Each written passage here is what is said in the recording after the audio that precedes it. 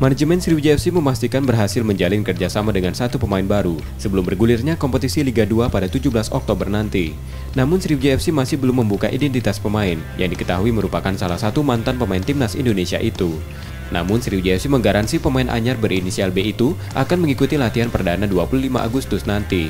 Setelah memastikan kehadiran satu pemain baru, Sriwijaya FC bakal menambah beberapa pemainnya.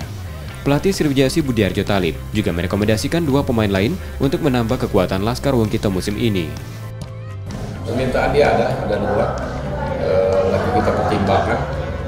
Permintaan dia pemainnya mahal kan, jadi kita lagi itu.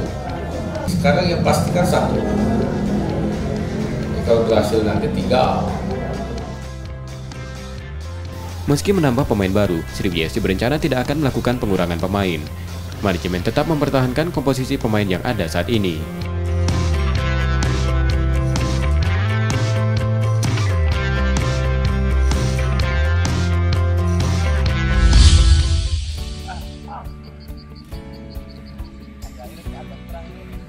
Muba Babel United optimis lanjutkan kompetisi Liga 2 yang akan kembali bergulir 17 Oktober nanti. MBU mengakui peluang mereka masih terbuka lebar setelah PT LIB melakukan pembagian grup dengan sistem drawing. Muba Babel United menilai pembagian grup dengan sistem drawing lebih netral. Pasalnya kekuatan dari setiap grup akan lebih merata dengan bergabungnya kontestan dari wilayah barat maupun timur. Namun Muba Babel United tetap mewaspadai setiap tim yang menjadi lawannya karena peta persaingan dipastikan semakin ketat mereka ngerespon itu digabung untuk barat timur dan ada sama-sama jadi satu nanti di drawing. Baru dapat uh, di combine uh, tim barat dan timur.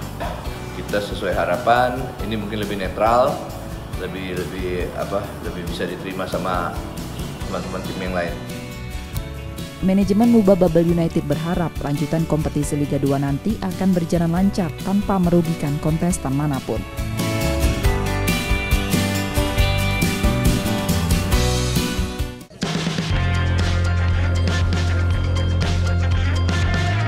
PT Liga Indonesia baru operator kompetisi Liga 2 akan menggelar drawing pembagian grup pada pertengahan pekan ini.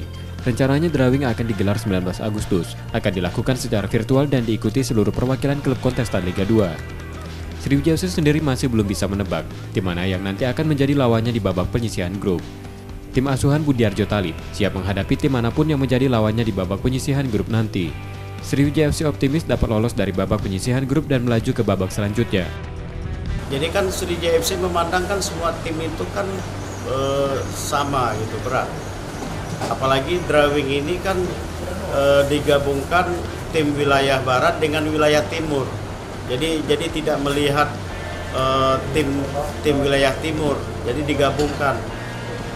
Yang jelas kita Sriwijaya FC tetap punya e, optimisme ya peluang untuk maju ke babak berikutnya. Manajemen Sriwijaya FC mengapresiasi keputusan PT RIB yang memutuskan pembagian grup Liga 2 dilakukan secara drawing. Sriwijaya FC menilai pembagian grup dengan drawing lebih adil, sehingga tidak ada istilah tim kuat dan tim lemah di babak penyisihan grup.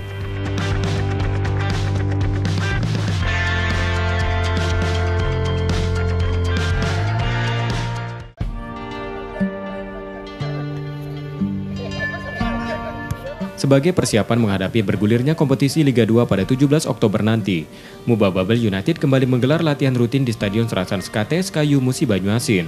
Latihan perdana baru diikuti pemain lokal Sumsel serta tanpa kehadiran pelatih kepala Bambang Nurdiansyah. Latihan awal ini, para punggawa Muba Babel United hanya latihan ringan dan fokus pada peningkatan performa pasca libur panjang karena pandemi COVID-19. Asisten pelatih Muba Babel United Sasi Kirono mengakui melihat penurunan performa dari pemainnya dalam latihan awal tersebut. Program Coach bahwa latihan perdana ini hanya untuk conditioning aja, jadi hanya mengembalikan kondisi yang apa namanya feeling ball untuk conditioning aja. Belum kita tahu ya karena kita perlu tes kalau untuk melihat kondisi yang valid, tapi secara kasat mata sih masih kelihatan masih feeling ballnya kurang masih kurang karena lama apa lama berhenti. Di babak penyisihan grup Liga 2 nanti, Muba Babel United tergabung di grup A bersama Badak Lampung FC, Perserang Serang, PSBS Baik, Cilegon United, dan Persewar Waropen. Nur Muhammad, Kompas TV, Palembang.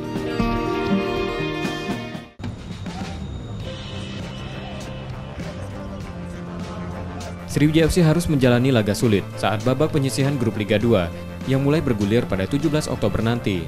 Hasil drawing yang digelar PT Liga Indonesia Baru, Sriwijaya FC berada di grup D bersama lima tim lainnya, yakni PSMS Medan, Semen Padang, Persijap Jepara, Perseka Tegal, dan Sulut United.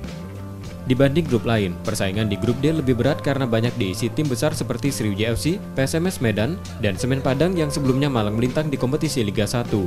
Meski berada di grup sulit, Sriwijaya FC tetap optimis dapat melewati babak penyisihan grup. Manajemen meminta anak asuh Budiarjo Talib tetap fokus menghadapi setiap pertandingan. Sebenarnya kalau kita lihat semua grup berat. Nah, memang ada kompetitor kita di Liga 1, Semen Padang dan eh, SMS Medan di grup uh, D. Ya, namun yang jelas kita akan lakukan persiapan yang lebih baik, konsentrasi dengan pertandingan itu saja. PSMS Medan nanti akan menjadi tuan rumah penyisihan grup D. Seluruh pertandingan di grup D akan digelar di Stadion Teladan Medan.